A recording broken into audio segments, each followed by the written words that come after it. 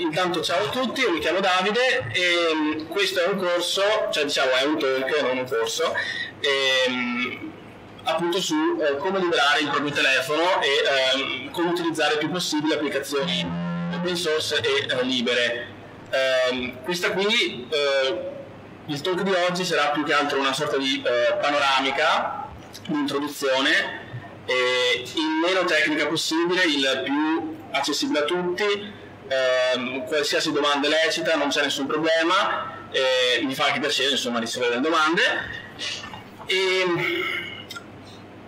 quello che io vorrei far capire è che vivere e utilizzare il telefono senza Google, senza ehm, tutti questi servizi proprietari è possibile e non è neanche troppo complicato.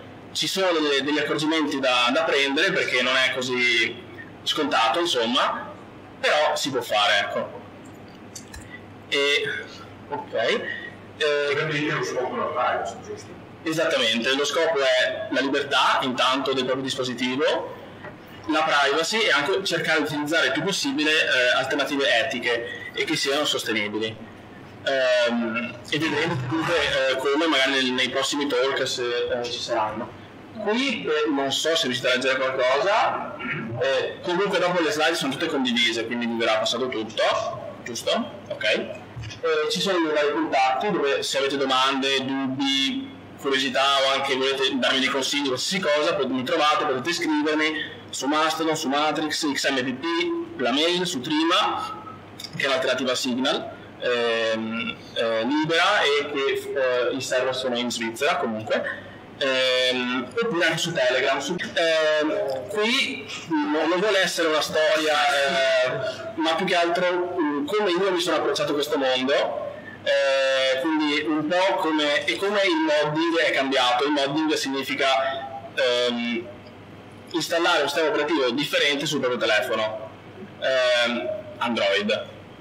Io ho iniziato giocando un po' a Snake sul telefono di mia nonna, quindi un Nokia 3310, eh, poi quando sono diventato più grande mi hanno comprato un Motorola Razr, che sarebbe il V3X il secondo, e eh, soprattutto smontato tantissimo con questo, il terzo, il Samsung eh, Star S5230, che non aveva Android, però eh, era l'anno in cui usciva l'iPhone 3G, l'iPhone 3GS, quei telefoni lì, questi che costano molto meno, ma si poteva ehm, modificare l'interfaccia e far sì che fosse come quella dell'iPhone. Io mi divertivo un sacco a provare a fare queste modifiche e ho anche un video. E, e poi ehm, sono passato ad Android. Il mio primo telefono è stato questo, un um, Samsung uh, Galaxy, Galaxy Star Plus che è uscito con Android 2.3.6 eh, Gingerbread che è uh, vecchissimo perché è del 2011 se non sbaglio e, e praticamente mi,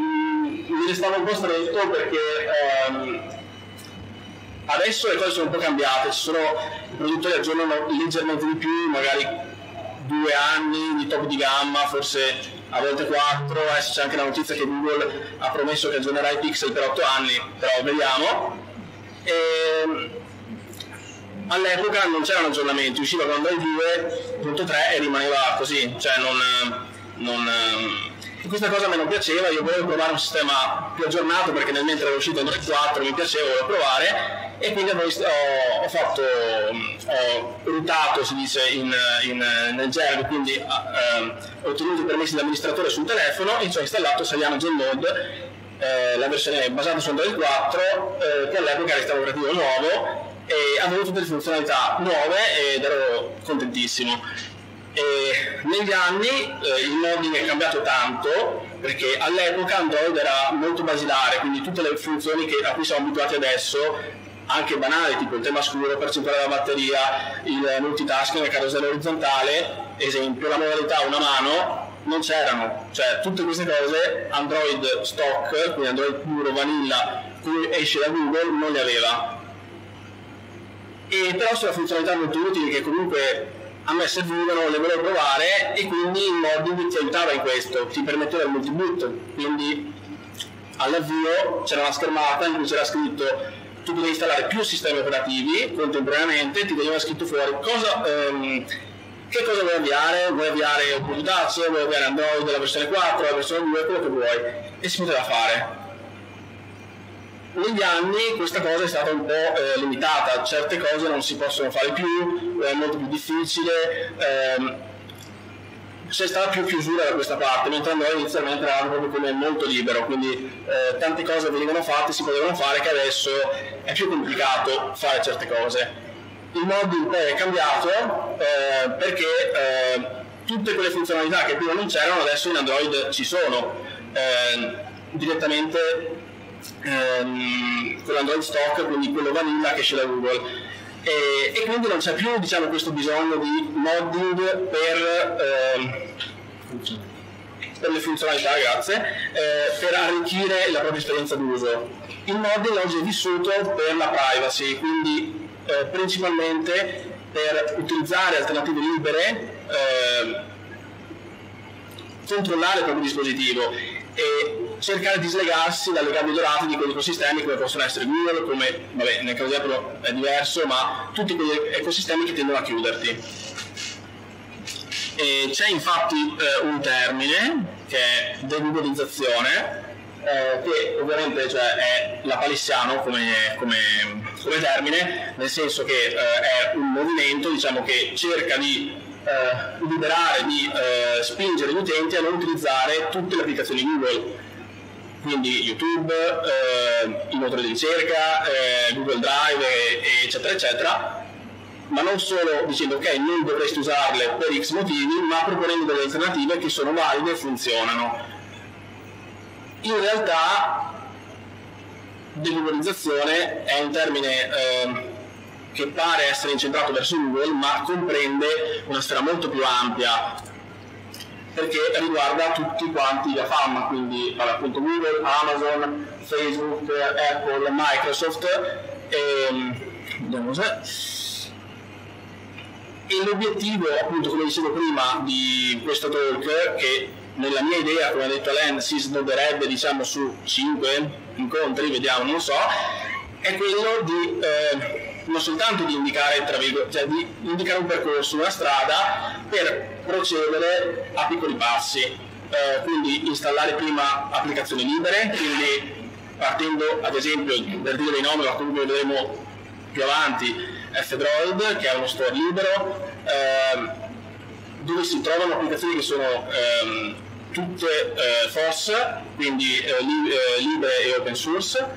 e successivamente anche capire se esist- quali sono le alternative valide ai servizi di Google, che sono la gabbia più eh, principale che ci tiene legati a, eh, all'ecosistema Google, perché tutto funziona in quanto ci sono i servizi di Google. Senza i servizi di Google ci sono molti problemi, tante applicazioni possono non funzionare. Vedremo come farle funzionare e successivamente la mia idea era di eh, andare su qualcosa di più, diciamo, tra virgolette, eh, pratico, quindi su alcuni telefoni come, non so, io ne ho portati due, eh, che avevo, eh, provare a installare delle custom ROM, quindi sistemi operativi alternativi, eh, che vedremo tutti quanti, eh, oppure anche parleremo di sistemi operativi alternativi, quindi non soltanto di custom ROM, quindi diciamo tra virgolette distro Android, quindi ehm, è sempre la stessa base Android, ma diciamo con delle aggiunte o eh, qualcosa che viene tolto, ma proprio sistemi operativi alternativi basati su Linux. Quindi, ad esempio, io qui ho installato, che adesso ve lo faccio anche vedere, cioè se volete provarlo, cioè passarvelo, non so se vuoi provare tu. Eh, ad esempio c'è Post Market OS che non è Android ma è proprio Linux, eh, è proprio Blue Linux, lì è basato su Alpine eh, e quindi si possono eh, utilizzare tutti i classici comandi a cui la maggior parte qui delle persone è abituata. Ehm, ci sono anche distribuzioni basate su Debian, eh, su Ubuntu, diciamo, eh, e eh, vedremo quanto sono usabili perché l'alternativa ci può stare, l'alternativa ma secondo me, almeno nella mia visione, ci deve essere un compromesso tra usabilità, sicurezza e privacy, perché io posso avere tutta la privacy del mondo, ma se non riesco a telefonare, telefono è inutile, non mi serve a niente. Eh, vedremo anche quanto funziona ad esempio mob, eh, nel caso di post market OS come si installa che in realtà è più semplice di quello che uno può pensare e, ehm,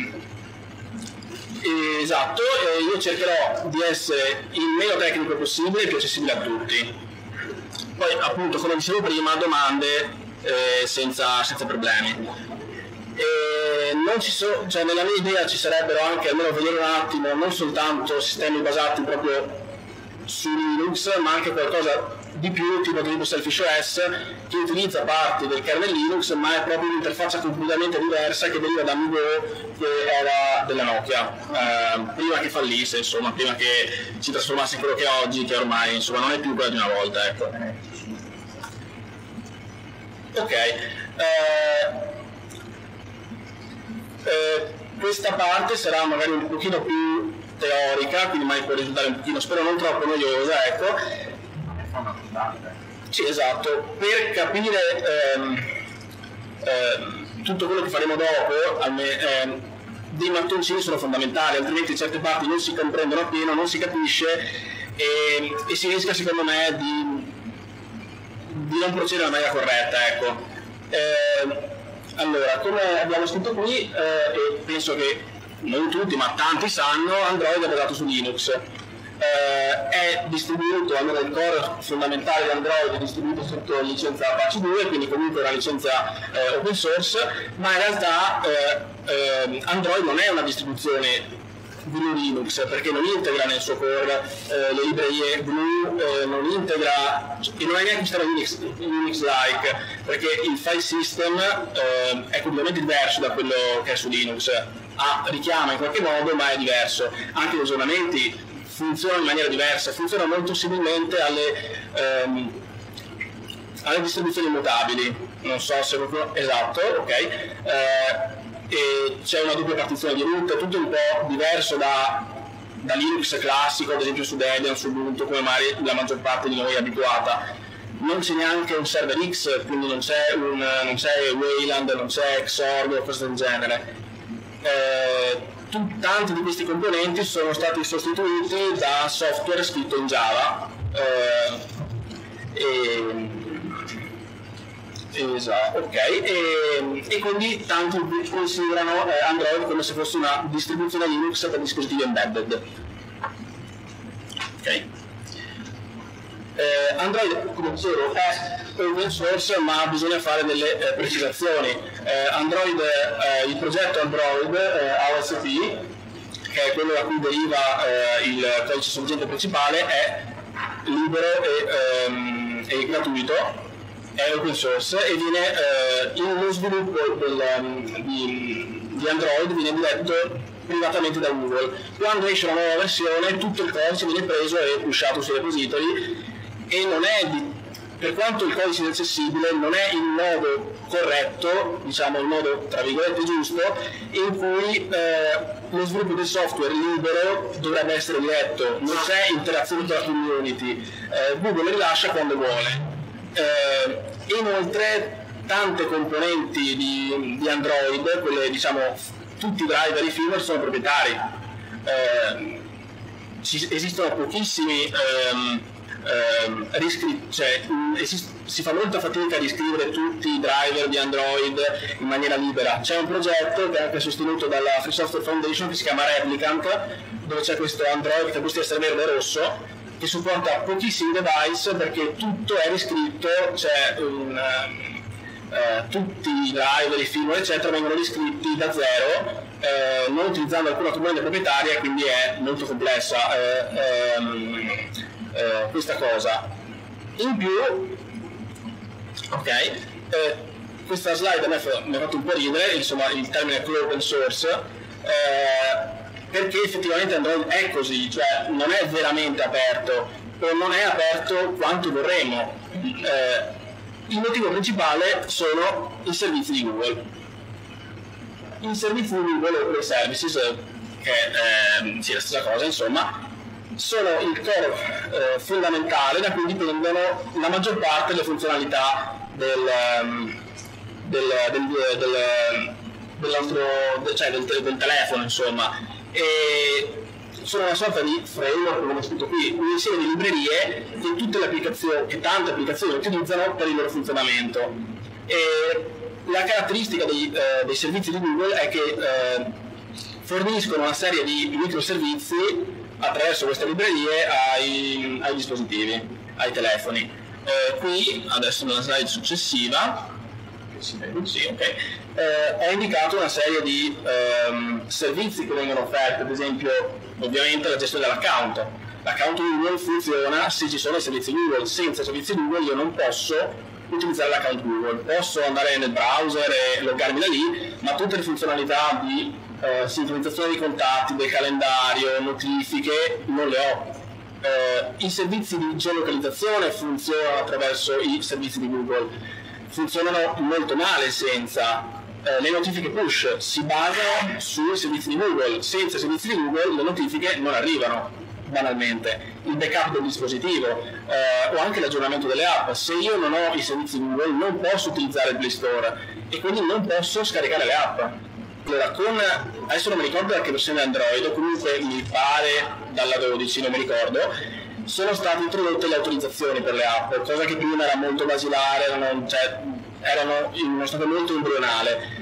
Le autorizzazioni eh, permettono ad app non di sistema, quindi ad esempio Google Maps se non è di sistema, eh, di eh, ehm, racchiudere il funzionamento all'interno di un, eh, di un recinto delimitato, quindi tu gli dici eh, nel caso della posizione usa comunque i servizi di Google, solo che non ti traccia in maniera precisa ma usa una zona un po' più ampia che può essere utile in alcuni casi, ma magari se io devo navigare in macchina mi serve la posizione precisa perché non posso sapere all'incirca dove sono, non devo sapere dove sto andando. E, ehm, una volta appunto senza le autorizzazioni tutto venivano date in maniera indiscriminata, non c'era modo di o era molto più complicato. Eh, I servizi di Google, essendo applicazioni di sistema, fanno quello che vogliono, cioè le autorizzazioni cioè nel senso hanno tutte le autorizzazioni, loro fanno qualsiasi cosa. C'è modo, e vedremo anche come si fa, di installarli come in alcuni contesti, perché non si può fare sempre, come applicazioni non di sistema, isolandole in alcuni, diciamo, tra virgolette, container, eh, e quindi eh, vengono trattate come applicazioni normali, come applicazioni, qualsiasi applicazione che eh, scarichi, io blocco certe autorizzazioni e quindi queste eh, e quindi appunto non ha accesso a queste eh, informazioni. Inoltre Android stock puro, quindi quello normalissimo, eh, quello diciamo, che troviamo in qualsiasi dispositivo, quindi l'interfaccia magari la UI cambia ma sotto il cuore lo stesso, ehm, non permette a livello di privacy di fare, ad esempio, eh, con le ROM libere, ad esempio LineageOS che è una delle più famose, si può bloccare, cioè c'è una sorta di firewall integrato, io posso dire ok, quest'app qui, che ne so, l'app del telefono non voglio che acceda a internet perché non gli serve, qui lo blocco.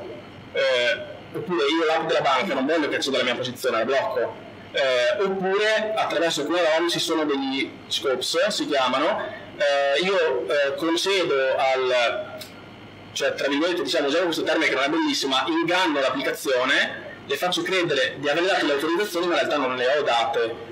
E quindi lei funziona lo stesso, non mi manda pop-up, non mi rompe le scatole, ma in realtà non ha accesso a nulla. E in realtà è abbastanza semplice se uno utilizza gli strumenti giusti eh, questa cosa. Eh, ok. Poi sì, non so se uno ha domande, vuole chiedermi qualcosa senza problemi. Eh. Eh, scusa, quello è il passo? Ah, è 147 147. eh, ehm, sì, che è quella di default di post market OS comunque. Eh. Eh, allora, eh, che ne abbiamo in realtà un po' già accennato prima, quali sono in realtà, cioè perché a me, ma non solo a me, non piacciono i servizi di Google? Uno, come c'è scritto lì, perché sono software proprietario il problema principale in realtà è il tracciamento che viene fatto dell'utente a fini pubblicitari. Ogni device che usa i, servizi di Google eh, ha un ID, eh, questo ID non, è, non, si può eliminare, non si può cancellare e questo ID viene usato a fini di tracciamento per proporre pubblicità profilata, ad esempio su Google Maps eh, o sulle applicazioni di Google eh, su, in generale, eh, per profilare l'utente appunto a fini eh, pubblicitari. Eh, anche la posizione stessa, ad esempio in Google Maps, la cronologia delle posizioni viene utilizzata per proporre annunci in base dove andiamo, che può anche essere comodo, però c'è gente come me che non piace. Eh, ad esempio anche le, le, notifiche push, che è una notizia di cui ho messo il link qui, in italiano, così è anche più facile da capire. Ehm, le notifiche push che sono quelle che arrivano quando arriva un messaggino, che arriva il, ehm, il pop-up, con, non so, scritto WhatsApp, il messaggino, quelle notifiche push, siccome passano attraverso i server di Google e i loro servizi, venivano utilizzati per il tracciamento, venivano eh, eh, è successo anche un dibattito nel Parlamento, penso si dica americano, ehm, per questa cosa qui. Poi c'è il problema che gli Stati Uniti non sono GDPR compliant, quindi tutti i dati che finiscono negli Stati Uniti non hanno la stessa eh, garanzia e copertura eh, di quella che noi abbiamo all'interno dell'Europa. Eh, appunto perché eh, il governo degli Stati Uniti può accederci indiscriminatamente anche senza processo non ho messo la legge perché non me la ricordavo e non, non mi ricordavo quelle, cioè non, non l'ho trovata proprio la legge precisa, quindi eh, così. Ehm, ah, mentre in Europa, se io voglio, cioè io sono anche la, il, il, governo italiano, voglio accedere ai, ai dati di, ai tuoi, per esempio, ci deve essere un processo, non è che accedo così, cioè devo avere delle autorizzazioni. Nel caso degli Stati Uniti, questa, eh, come si dice, ehm, non è garantito questo diritto per i, per i cittadini extrastatunitensi. Eh, ed è per quello tutte le, le sentenze, Schrems, tutto quel casino che è venuto fuori, è per questo, perché gli Stati Uniti non sono GDPR compliant, la Svizzera, che non è europea, è GDPR compliant. Quindi rispetta e tutela i cittadini europei allo stesso modo dell'Unione. E poi, eh, appunto, eh, vediamo Ok?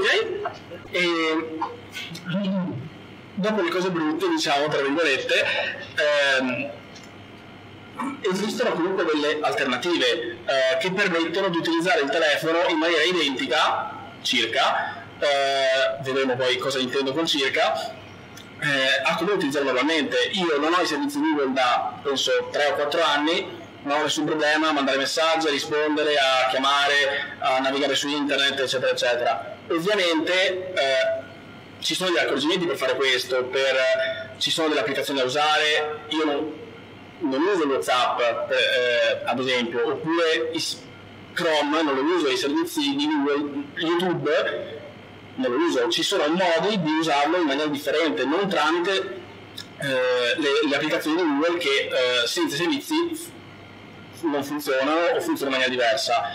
Ehm, infatti parleremo eh, di micro G, quindi capiremo in maniera sempre molto, spero, comprensibile per tutti, semplice, eh, G cos'è, come funziona, come si installa, se posso installarlo lungo, posso installarlo sul mio telefono o perché sì, perché no? Micro G sarebbe un'alternativa ai servizi Esatto, ne parliamo dopo, ma micro G sarebbe proprio ehm, l'alternativa alla riscrittura libera dei servizi di Google. Eh, non usano dati, a parte anonimizzati tipo l'IP del, del device ovviamente per, eh, o comunque se io utilizzo l'account Google tramite eh, ovviamente Google ha idea del, del, device, dell'account eccetera, ma si possono utilizzare senza account.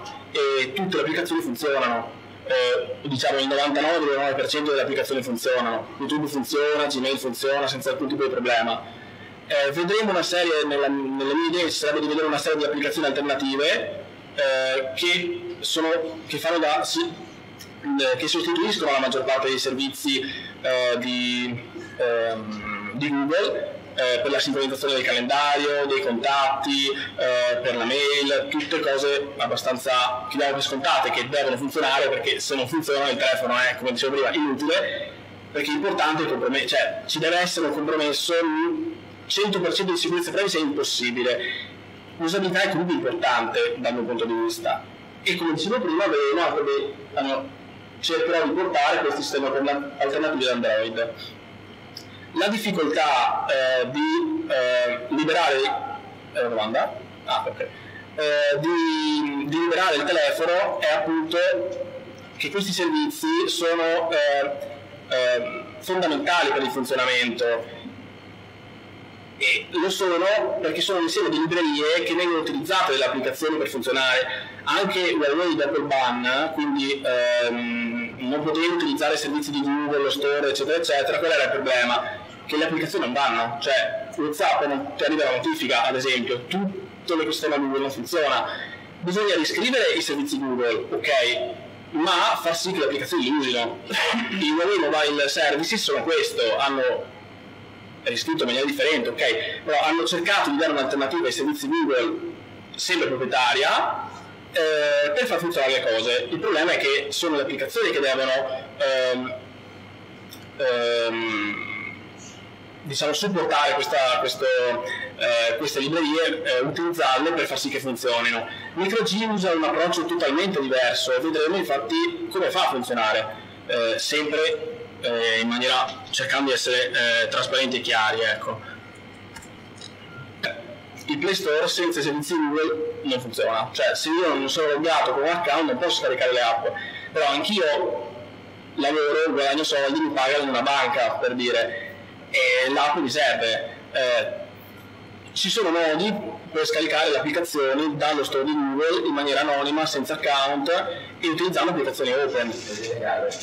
Sì perché non sono applicazioni a pagamento, sono, tu non puoi, eh, cioè se c'è l'app che mi costa un euro io non posso scaricarla gratuitamente. Sono caricate, esatto. È un front-end alternativo, una, diciamo un'applicazione alternativa che si interfaccia con i server di Google e ti permette di scaricare gli APK solo dai server di Google. Poi ovviamente se uno usa F-Droid, che è lo store alternativo e libero più famoso e eh, anche più grosso, insomma, eh, lì tutte le applicazioni sono FOSS, eh, si basano sulle donazioni, se uno vuole dona, eh, se no, tra virgolette, il, diciamo lo usa così. Eh, ci sono modi anche perché eh, tanti ehm, sviluppatori lasciano anche le applicazioni di, direttamente su GitHub, già il, l'APK, eh, l'APK sarebbe tipo l'Excel su Windows per capirci.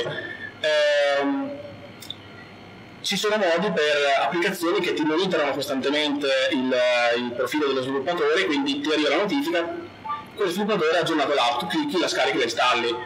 Ovviamente questo puoi farlo solo con applicazioni che eh, stanno su GitHub, perché eh, non so, quelle della banca non ci sono, però appunto come dicevo dovevo tutti i modi per, eh, per poterle scaricare e utilizzarle tranquillamente senza eh, grossi problemi.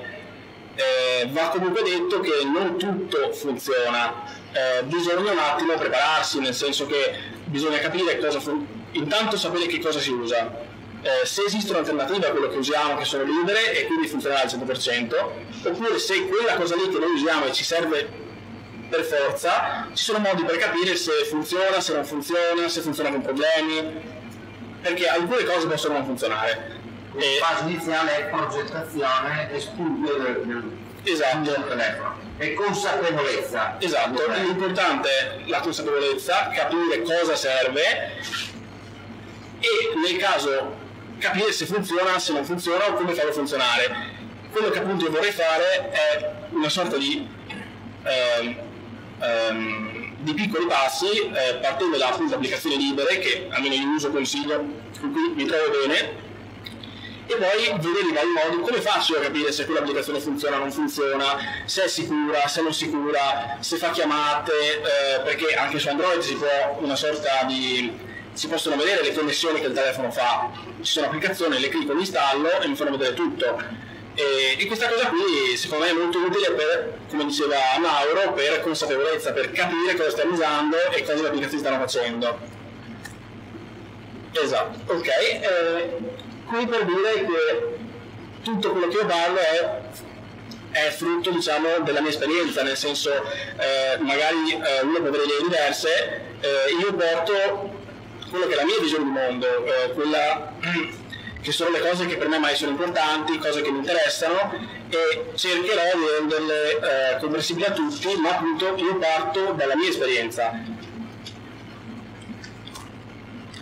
E qui insomma, che in realtà ne abbiamo già parlato un po' prima, vediamo un po' di pro e alcuni contro di, um, della liberazione del proprio telefono, quindi utilizzare alternative. Allora, sicuramente che c'è maggior controllo. Esegui un software che comunque è controllato dalla comunità, so che lo sto seguendo, so che, so che chiamate fa, so che applicazione uso, posso disinstallare le applicazioni del sistema, è molto più pulito, molto più sicuro. Eh, ci sono eh, delle ROM, quindi sistemi operativi, che ti permettono appunto il, il firewall interno, quindi come dicevo prima posso evitare che alcune applicazioni abbiano accesso eh, alla rete, posso eh, avere più profili, nel senso che i, anche su Android stock c'è la multiutenza, ma è molto basica. Um, ad esempio su Divest, che è una ROM particolare, um, ci sono delle funzionalità molto avanzate eh, che eh, permettono um, un maggiore controllo sul proprio telefono e poi tutte queste cose qua comunque le vedremo. Eh. E, e, secondo me aumentano di molto appunto la sicurezza dell'utente ma la consapevolezza.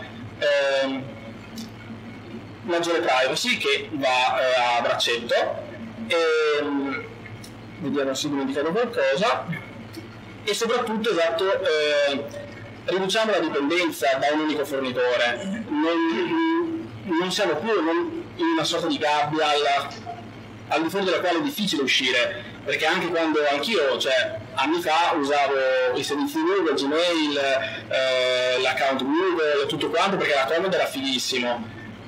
Uscire da quel, da quel tunnel lì è complesso, eh, non è semplice, anche perché alcune cose dipendono solo da noi. Eh, ad esempio, se io non voglio usare YouTube è una mia scelta, cioè non dipende da altri. Ci sono servizi che è molto difficile rimpiazzare, ad esempio WhatsApp, perché WhatsApp lo usano tutti e, e io non è che posso obbligare gli altri. Eh, ci sono modi di usare WhatsApp senza avere WhatsApp per dire, eh, che sono comunque interessanti secondo me. E anche questa cosa qui è una cosa secondo me ehm, che non tanti sanno perché non tanti conoscono, ma è molto interessante. C'è modo di non, se, di non utilizzare l'app di YouTube, il sito di YouTube, perché è pieno di traccianti, è pieno di diciamo sì, di traccianti, di cose che non sono proprio bellissime. Eh, eh, in più eh, l'app appunto è anche chiusa, blindata, funziona solo con i servizi Google, senza servizi Google non funziona YouTube. Ci sono modi, ad esempio uno è quello che volevo farvi vedere, ma um, non ho mai usato OBS, quindi boh, probabilmente devo un attimo capire meglio, e, che si chiama FreeTube, che su Linux si può utilizzare, funziona anche... Um, perché quella è la comodità di avere un account, è che io ho eh, mi sal- guardo il video dal telefono, lo metto tra i preferiti, lo vedo sul computer. Ci sono modi di fare la stessa cosa, che funzionano, eh, usando software libero. Ehm, ad esempio si chiama Piped, uno dei più famosi è Nvidius, se si pronuncia giusto, credo sì. E sono tutti modi, diciamo, per fruire gli stessi contenuti, ma senza dover, una, dover avere un account. È chiaramente un compromesso, l'idea migliore sarebbe usare YouTube che è federato, è libero, è gratuito. Ma perché era modo libero. Esatto, ma PeerTube. Il problema di PeerTube, diciamo tra virgolette problema, sono gli utenti, nel senso non c'è così tanto contenuto in italiano come quello che c'è su YouTube. È un po' un cane che si morde la coda, io non, non, lo uso perché non c'è nessuno e quindi nessuno lo usa perché non c'è nessuno. Eh, ci sono ormai più contenuti in inglese, eh, ci sono alternative ci sono a tutto, c'è tipo il Fediverso che è tutta... Ehm, eh, è proprio un'alternativa, un modo completamente differente di vedere i social. Io non ho Facebook, non ho Instagram, non ho TikTok, non ho tutte quelle cose lì, ma non tanto perché uno vuole essere alternativo fino a se stesso, è proprio l'idea che secondo me è sbagliata. Ehm, e qui ci sono modi di, non so, Mastodon che ho nominato prima, magari qualcuno l'ha sentito, magari qualcuno l'ha visto, c'è anche l'account dipende Google comunque. E è proprio un'idea completamente diversa di, uti- di utilizzo del proprio tempo e utilizzo del proprio, del proprio telefono e cose del genere. E, poi ho messo link un bellissimo articolo che è anche in italiano, eh, che comunque dopo vi giro le slide c'è scritto tutto, di, eh, della Free Software Foundation Europe eh, che parla appunto del perché uno dovrebbe eh, liberare il proprio telefono, ha fatto anche una campagna che secondo me era molto interessante, fatta molto molto bene. Ok, Ehm, quindi cos'è MicroG? Che in realtà un po' l'abbiamo già detto, è la vera alternativa ai servizi di Google. Ehm, sono una reimplementazione, quindi una riscrittura delle librerie ehm, eh, di Google eh, che permettono di eh, poter utilizzare praticamente il 99,9% delle applicazioni eh, senza alcun tipo di problema. Funziona notifiche, funziona volendo, si può utilizzare anche l'account di Google, funziona tutto. Ehm, io li usavo una volta e grosso modo non mi ricordo applicazioni che non funzionino, onestamente. Ehm, comunque ci sono siti, ci sono applicazioni, ci sono ehm, risorse che, ehm, di cui parleremo ehm, che aiutano eh, perché se, cioè, è difficile capire eh, se un'applicazione funziona o non funziona se non ho quel sistema alternativo su cui la installo e capisco se va eh, o cerchi video eccetera. Ma ci sono applicazioni che funzionano tipo Wikipedia dove chiunque può inserire dei commenti, delle cose che sono utili a tutti. Quindi ad esempio ehm, eh, io ricerco quell'applicazione lì eh, la trovo, c'è il bollino verde, il sito funziona perfettamente, c'è qualche problema, non funziona, ci sono vari commenti che sono molto utili, ci sono siti che ti aiutano in questo. Eh, e poi ovviamente sono i forum, canali Telegram, gli utenti, poi come, come, ho detto potete anche scrivermi una mail, mandarmi un messaggio, chiedermi qualcosa, non c'è nessun tipo di problema. Eh, il talk prossimo nella mia testa è qualcosa di più didascalico nel senso di più eh, teorico dove vedremo le varie ROM che esistono perché come faccio? Perché ne esistono tante come su Linux esistono tantissime distribuzioni quale scelgo? Quale è meglio? Eh, quale uso? Cioè, eh, perché io le ho provate praticamente tutte ce ne ho installate una marea e dopo un po' ho capito quale volevo quale mi serviva quale faceva per me e capiremo come sceglierle. Eh, io uso Divest. Divest OS si chiama eh, però ce ne sono tantissime e mm, non, ovviamente non ne tratteremo tutte perché sennò è un elenco infinito di, che non ha più senso, ma capiremo quali sono secondo me le migliori, quelle che ti danno eh, più usabilità, quindi dove funziona tutto, e quelle che ti danno più sicurezza, e quelle che stanno nel mezzo. E, mm, quindi per rispondere alla tua domanda, che non so se ho risposto giusto, eh, una volta cioè, non è che devo seguire. No, no, no, ci sta. Mi stavo dicendo, devo, devo fare una partizione sul mio telefono dove devo fare gli svolgimenti. Eh, una, una, vo- una, volta potevi farlo, adesso, adesso no. non puoi. Cioè, ehm, ci sono alcuni device dove il multiboot è permesso, ma devi proprio avere quel telefono, se no tendenzialmente non funziona. Ehm, una volta i servizi Google non esistevano, cioè era Android fino al 5 mi pare, eh, quindi Android Lollipop che boh, sarà stato, non mi ricordo l'anno, comunque era eh, differente, c'era molta più libertà. Poi piano piano sono stati, eh, Google ha creato questo, Android è sempre libero, quindi diciamo la licenza Apache è sempre quella, però tutti i servizi che erano nel sistema e quindi erano liberi sono stati piano piano improbati in questo core proprietario che sono i servizi Google e appunto tutte le funzionalità di sincronizzazione eccetera eccetera non sono più per cioè è molto complesso. Non sono neanche disinstallabili tu non puoi disinstallare così clic disinstalla come non so scarichi l'applicazione da Google Ma, ehm, dal Play Store e la disinstalli non puoi perché il sistema può disattivarla ma fino a un certo punto. E capiremo appunto bene cosa è MicroG, come si installa eh, se posso installarlo ovunque perché vedevo che non posso installarlo sul mio telefono così com'è. E che non tutti i telefoni purtroppo si possono sbloccare completamente, quindi ehm, sostituire diciamo il sistema operativo. Eh, perché? Eh, perché lo sblocco non è permesso, ad esempio tutti i telefoni cinesi, quindi Oppo, Vivo, eh, tutta quella cosa lì, Xiaomi, cioè diciamo che è molto complicato, è molto regnoso perché devi mandare una mail in cinese a loro che dopo una settimana ti mandano il codice, cioè è una rottura di, di scatole, eh, però e con un programma che funziona solo su Windows, ok? Però si può fare volendo. Sì, eh, io, a me quelle cose non piacciono perché ti complichi la vita per nulla.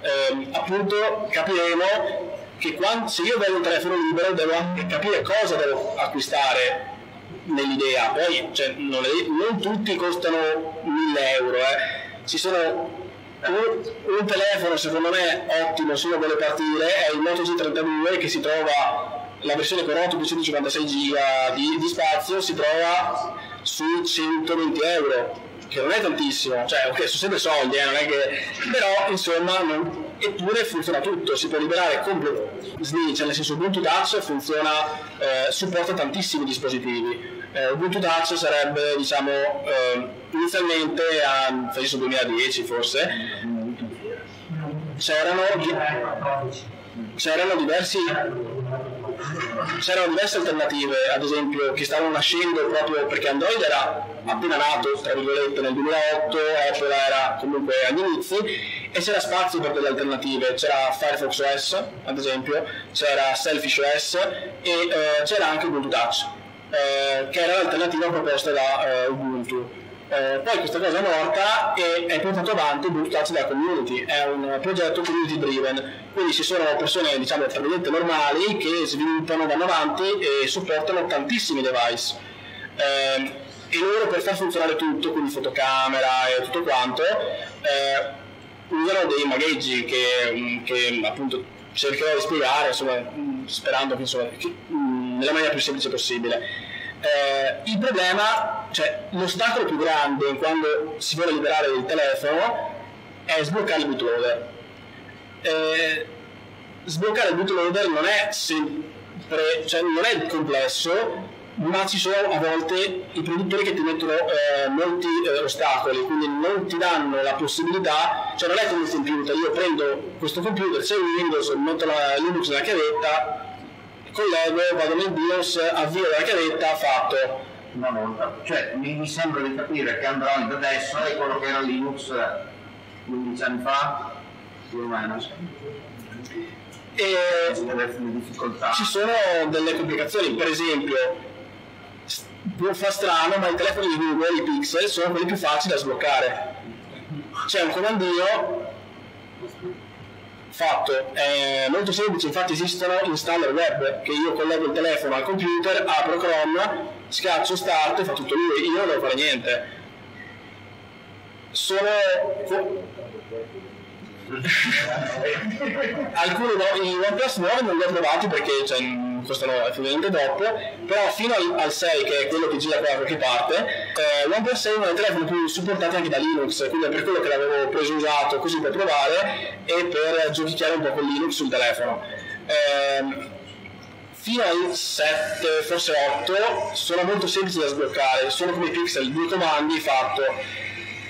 Già Fairphone, tipo questo, comunque è un pochino più complesso perché deve, devono mandarti un codice per sbloccarlo, è più una rottura.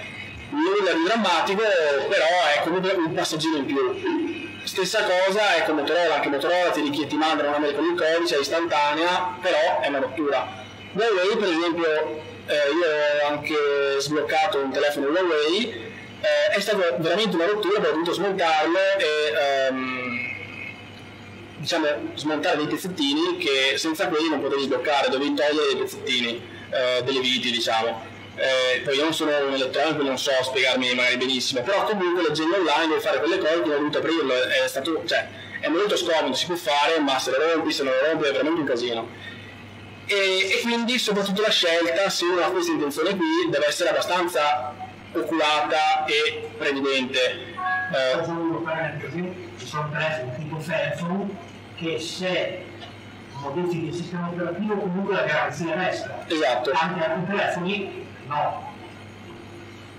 appunto eh, no no esattamente eh, ci sono eh, la, mm, lo sblocco del bootloader quindi permettere l'esecuzione di sistemi operativi alternativi diciamo tra virgolette ehm, non è permesso eh, cioè invalida la garanzia nel 90% dei produttori Motorola invalida la garanzia quindi se io a me non è messo su nulla però può capitare c'è un problema il domanda a Motorola e ti dicono no Eh, Google, per esempio, con i pixel è molto lasca, quindi tendenzialmente la, la garanzia non viene invalidata.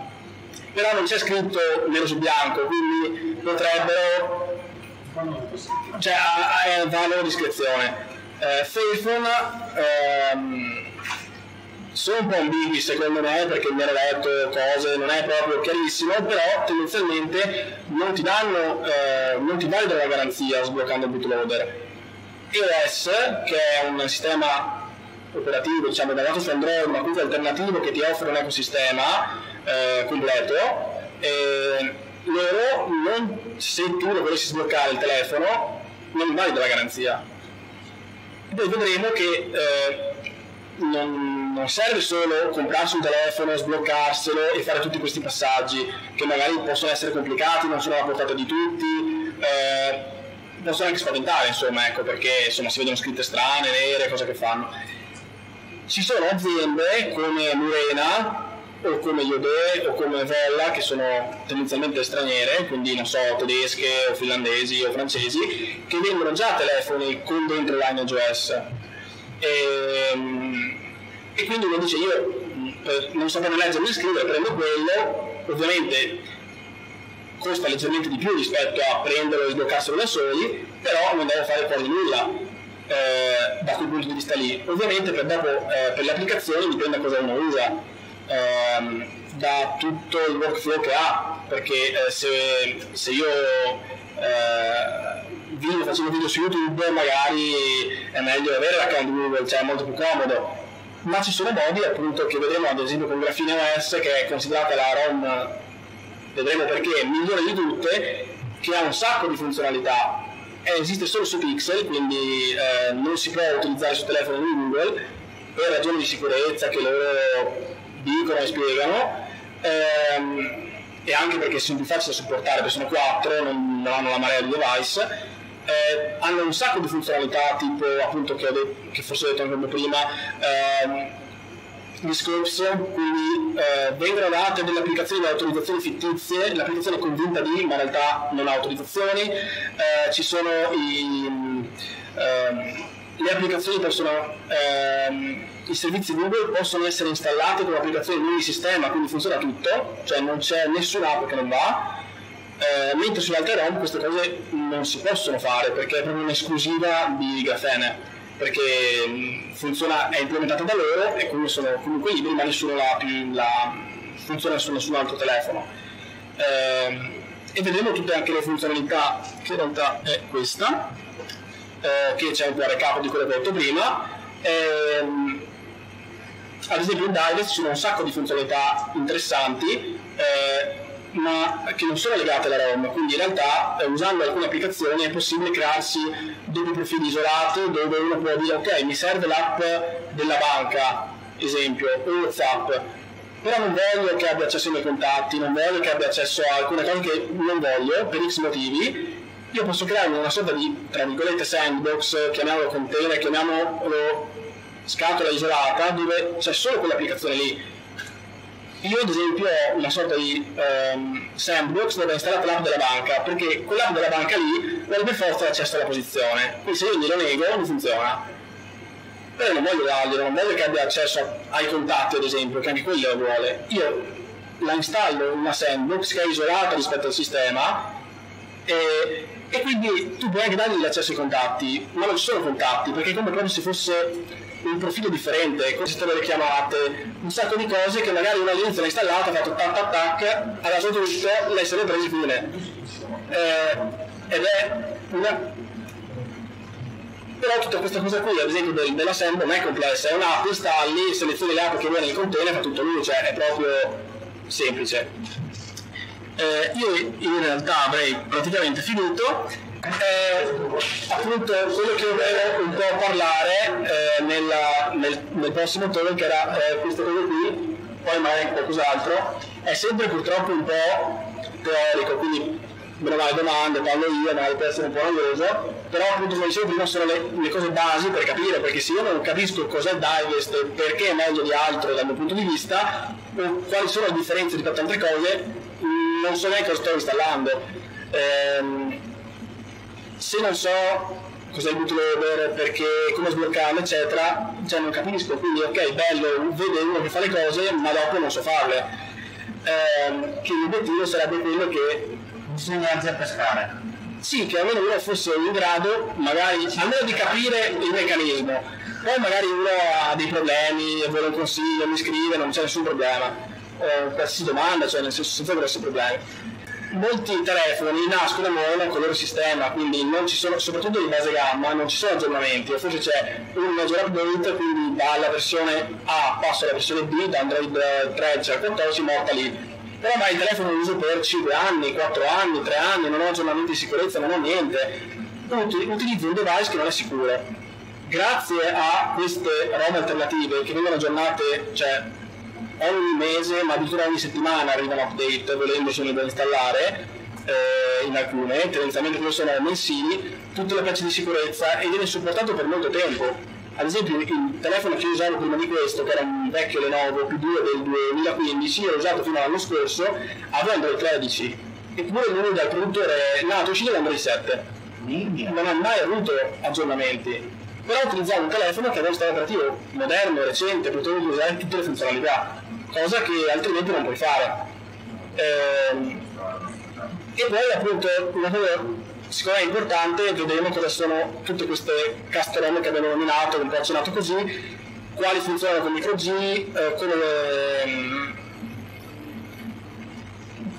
come funziona appunto con micro G e, e, e, le varie problematiche che ci sono, le differenze tra una e l'altra, perché dovrei scegliere una o l'altra e quale, e quale file al caso mio e quindi partendo da cose semplici installo un'app che tutti sanno fare, chiunque può fare provare e dire ah ok mi piace, mi trovo bene eccetera eccetera io per trovare l'alternativa a alcune cose ci ho messo un sacco di tempo perché non le conoscevo, non, non, non le trovavo in giro, non capivo e, e, ho cambiato molto modo di utilizzare il telefono negli anni. Prima usavo solo il locale, non c'era l'account Google, vabbè, fine. Però non avere la sincronizzazione dei contatti è scomodo, cioè è molto eh, utile avere anche eh, scambiarsi eh, file tra per esempio le impostazioni delle applicazioni sono eh, backuppate qui ma sono sincronizzate con questo eh, computer con il computer di casa. Quindi so che se per x motivi mi si rompe il telefono io le, le impostazioni dall'altra parte semplicemente ok dovrò comprare un telefono nuovo sistemare questo o in qualsiasi modo prendo le impostazioni le rimetto dentro e ho fatto in, nel caso di Android eh, diciamo che si integra abbastanza bene sia con Windows che con Linux, eh, sì che con Linux, con Mac non so, non l'ho mai provato quindi non, non, lo so.